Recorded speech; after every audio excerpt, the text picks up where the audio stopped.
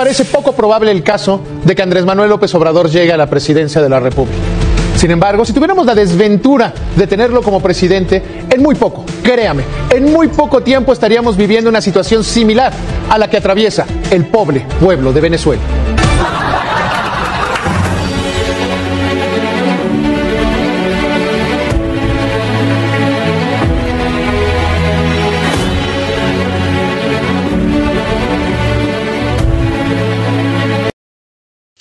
Amigos, ¿qué tal? Los saludo desde La Paz, Baja California Sur, el paraíso junto al mar, este 30 de abril del 2024, Día del Niño. Felicidades a todos los niños de todas las edades que, nos ven, que nos escuchan este día. Veíamos parte de, de las mentiras que nos contaban, nos contaban estos pseudoeconomistas, pseudoexpertos, chayoteros, protectores del antiguo régimen, que nos platicaban que íbamos a ser Venezuela, Hoy más bien ellos quieren convertirnos en la nueva Argentina, dicho sea con todo respeto para los, los amigos argentinos, más no para mi ley. Y, así muchos mexicanos se la creían, nos la creíamos, pensábamos que efectivamente el presidente Andrés Manuel López Obrador, el mejor presidente que hemos tenido en vida en este siglo XXI, eh, que nos podía hacer daño, que nos podía perjudicar en nuestra economía, en nuestro futuro y vemos que hoy que no es así. Por fortuna, por, por desgracia, ya se va en menos de cinco meses, en menos de 35 días son las elecciones. Esperemos que Claudia Sheinbaum, a como van las cosas, va a ser la próxima presidenta de México y así seguir con el segundo piso de la cuarta transformación. Muchos logros en materia económica, muchos logros en materia social, en educación y en otras tantas áreas Muchas cosas por hacer, por supuesto, en seguridad. Es una de las áreas que quedan pendientes todavía. No se ha pacificado el país. Esperamos que la próxima administración lo pueda lograr. Pero el tema principal de, este día, les comento, es que hubo jalones, empujones, abucheos, porras también y limonazos para Xochitl Galvez, para la candidata del PRI, para la candidata del PAN, del PRD, que andan muy asustaditos pidiéndole a Jorge, Álvarez Maínez que decline por ellos y este ya les contestó, les, les, platicaba el día de ayer, diciéndoles que, no, que ellos deberían de declinar a favor de Movimiento Ciudadano, a favor de, de Jorge Álvarez Maínez, con la condición de que Alejandro Moreno y Marco Cortés renunciaran a su, a su presidencia de los partidos, del PRI y del PAN, y a sus plurinominales y que así sí los recibe para que juntos hagan un bloque en contra, en contra de Morena. Sería muy interesante, la verdad que sería como para sacar las palomitas si eso llegara a ocurrir. Dudo mucho que vaya a pasar, por lo pronto creo que Jorge no va a declinar por, por Xochitl Galvez, pero si Xochitl llegara a declinar por Jorge Álvarez Maínez, iba a poner, bueno, aunque ni así, ni así realmente iban a derrotar a la cuarta transformación. ¿Qué sucedió en uno de los mercados de la Miguel Hidalgo allá en México? Se los voy a pasar y seguimos platicando sobre el camino. Vean nada más que no fueron jitomatazos, pero sí fueron limonazos a Xochitl Galvez.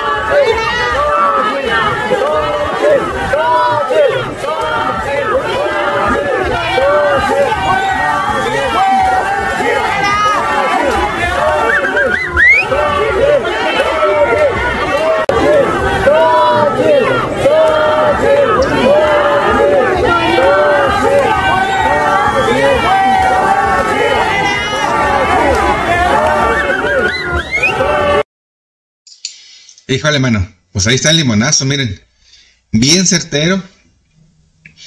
Y pues la, digo, la verdad que no, debería de ser, ¿no? No debería de haber ese tipo de agresiones, porque así como fue un limonazo, pudo haber sido una piedra, ¿no? O, algo más severo que le pudiera dañar a Xochitl Galvez, que no es el tema, no es el tema hacerle daño.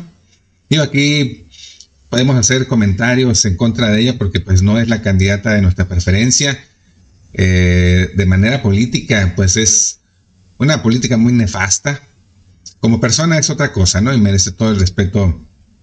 Pues una cosa es entre la carrilla, porque ella se lleva también, pero ya las agresiones yo creo que no, no, no van, no van a lugar. Sin embargo, yo creo que le fue bien porque, insisto, pudo haber sido una piedra, pudo haber sido hasta un huevazo, ¿no? Pero pues bueno, ella eh, está cosechando lo que sembró porque fue delegada de esa, de esa área de la ciudad, de la Miguel Hidalgo. Y pues ahí está el cariño que, mucha gente le tiene a Xochitl Galvez, ¿no? Que sigue el tema de lo que sucedió en, el debate, que, en donde fue mucho, muy superior Claudia Sheinbaum, mucho, muy superior. A mí me hubiera gustado mucho que, lo hubieran, que Claudia le hubiera hecho una pregunta técnica a, a Xochitl.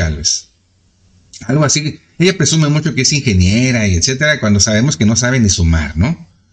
Eh, o, lo que dijo ahí en el debate de que hay que guardar agua en, en Texcoco. Y pues Claudia le revela y dice, no se puede guardar agua en Texcoco porque el suelo es salado.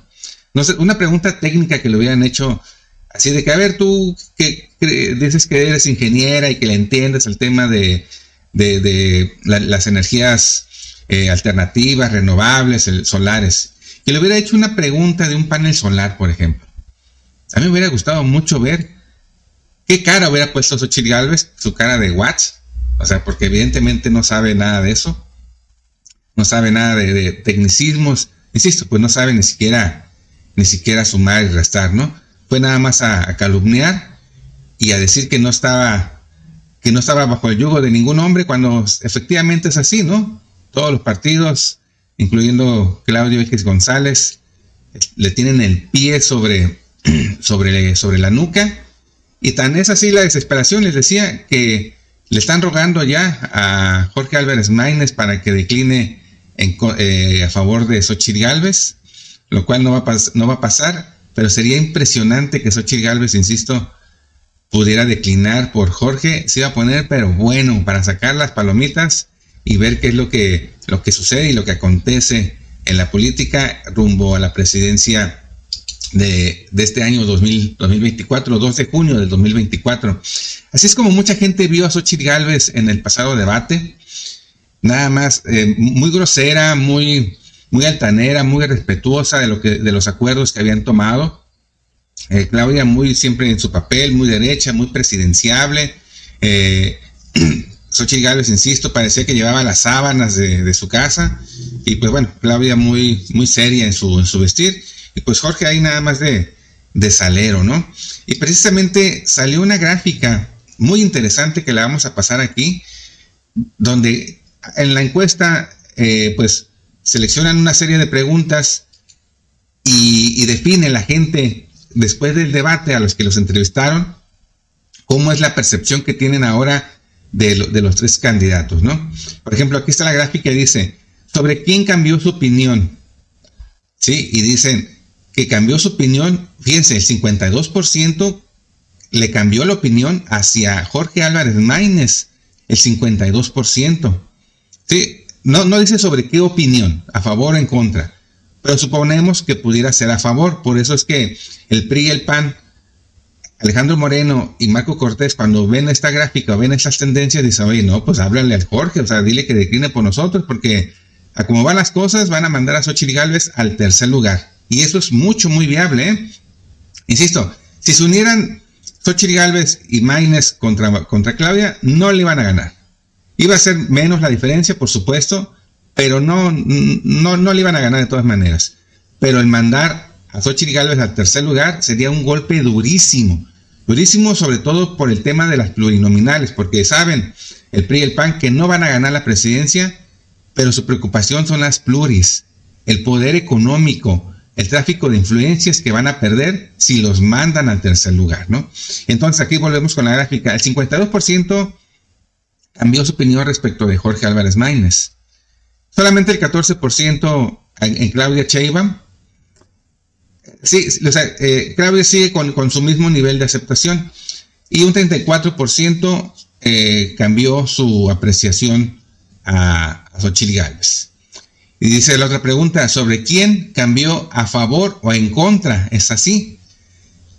Y el 87%, déjenle hago más grande porque no, no, alcanzo a distinguir. No, el 80%, el 80% cambió de manera en contra su opinión respecto de Xochitl Gálvez. Es decir, eh, de acuerdo a esta gráfica, Xochitl Galvez pierde puntos, pierde eh, en cuanto a la percepción que la gente tiene sobre ella. O sea, muy mal, el 80% cambió su percepción. Muy mal, porque la vieron muy, grosera, insisto, ¿no? A Xochitl Galvez en el debate. Y fíjense, Jorge Álvarez Maínez, el 90% de, de la percepción de la gente cambió a favor. Igual, lo mismo sucedió con, con Claudia, ¿no? Claudia, insisto, se mantiene, pero sí, Jorge creció mucho en la percepción, en la mejora. Yo creo que las próximas encuestas van a posicionar ya a Jorge Álvarez Maínez arriba de un 10%. Y yo creo que esos puntos se los van a quitar a Xochitl Galvez. Y Claudia todavía va a estar ahí eh, arriba del 55-60% de aceptación eh, electoral.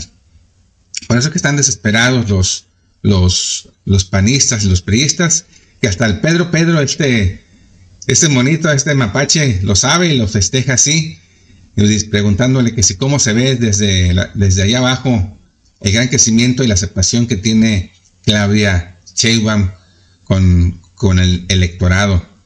Y pues la señora Xochitl Gálvez desde su chicle, queriéndose estirar lo más que pueda para poder alcanzar a Claudia, que dice, dice que en dos semanas la va a alcanzar. O sea, es, deberían de, plantearse objetivos realizables, alcanzables, objetivos y no, pues iba a decir una palabrota, pero no cosas mentales, ¿no? No, no buenos deseos, porque por eso están ahí donde están. Sí, porque solamente se la pasa haciendo chistes, moverías, groserías, eh, y, el decir nada más hacia el aire, en dos semanas la vamos a alcanzar. No, señora, pues aunque la alcanzaran en dos semanas, eh, bueno, es imposible. Estadísticamente es imposible y de acuerdo a la gráfica que vimos, la gente, aunque hubiera sido otra candidata, aunque hubiera sido Beatriz Paredes o eh, estas, eh, Beatriz Paredes o Santiago Krill, el resultado fuera el mismo, pero hay más repudio hacia Xochitl por cómo es. ¿no? Aquí está otra gráfica de la percepción de quién ganó el debate y pues lo pueden ver muy claramente, 51% piensa que fue Claudia Sheinbaum, eh, el 31% que fue que fue Xochitl un 12% Jorge Álvarez Maínez y el 7% no lo sabe. Entonces, pues así, así van las cosas, ya con menos de 35 días para que sean las elecciones de este 2 de junio con una señora científica, bien, bien portada, bien, bien cuadrada en su papel, contra una persona que depende de, varios hombres para tomar decisiones y que trae un lastre, que trae un, una piedra en el zapato, que es, pues, eh, las mentiras, ¿no? Las, las gran mentiras, y una de ellas es, y, le siguen viendo la cara a ustedes, amigos panistas, porque este muchacho que aquí vamos a decirlo, él es político. Su mamá, Xochitl Galvez, lo metió a la política como coordinador de, los jóvenes con Xochitl Galvez. Luego entonces, ahí lo hace político. No es menor de edad. Tiene 26 años y va a cumplir 27 años próximamente. O sea, no es un, no es un chamaquito, pues, ¿no? Se pone ya sus buenas guarapetas, que están en todo su derecho. Entonces, recordarán que hace unas semanas le sacaron un video donde en muy, muy estado de, ebriedad, borracho pues, ¿no? Agrede a unos trabajadores de, un antro ahí de la Ciudad de México y lo exhiben. Y debido a eso, pues bueno, pide disculpas. Eh, y Xochitl dice que lo retiran de, coordinador de los jóvenes eh, con Xochitl Galvez. Y pues ahí paran las aguas, ¿no? Paran las tormentas ahí. Y pues, ¿qué creen? Resulta que no es así. Les volvieron a ver la cara. Resulta que el señor, este señor, Juanpa, Juanpi, se presentó el domingo al debate con Xochitl Galvez y llevaba un gafet. Y llevaba un gafet precisamente el que ven ahí. Y dice coordinador de la juventud.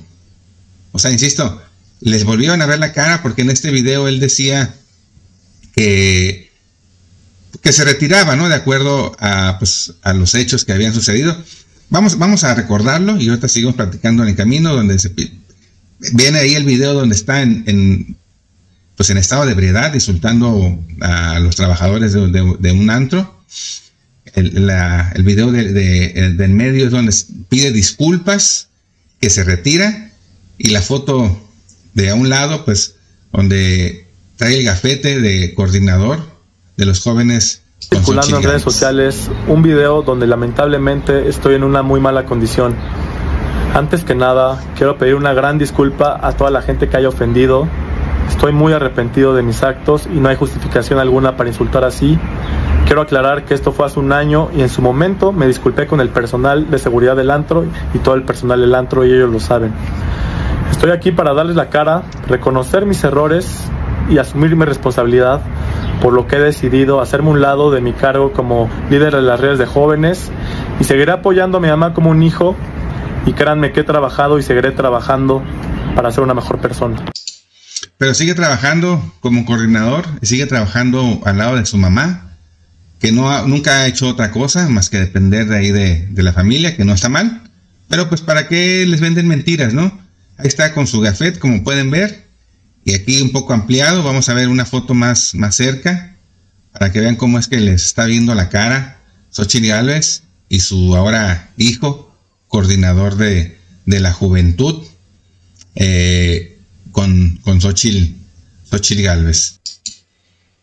Ahí está la foto, más, más cerca. Sí, dice ahí Juan Pablo Sánchez Galvez, coordinador de jóvenes, Fuerza y Corazón por México.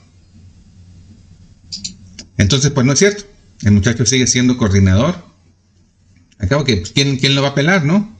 Pero pues todo, todo sale a la luz y son tan obvios tan cínicos que pues no les importa, no les importa que mentir, porque esa es la filosofía de Xochitl Galvez, así se ha, se ha guiado en su campaña, se ha guiado durante su vida y carrera política, no digamos ya la personal, eso ya, ya, ya no nos toca a nosotros, pero sí lo que respecta a su actividad política y pública, pues que les sigue mintiendo a ustedes, amigos panistas.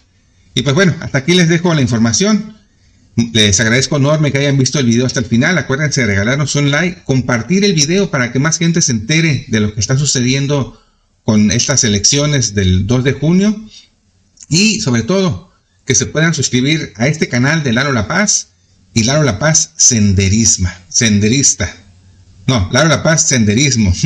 Laro La Paz Senderismo. Eh, ahí pasamos, no política, pasamos otros tantos temas, pero no de política. Sí, yo creo que les va a gustar mucho y ahí vamos, va, va creciendo el canal cada vez y esperamos que con su apoyo pues podamos próximamente llegar a miles de suscriptores gracias al favor de, de, su preferencia. Nos vemos y hasta el próximo video.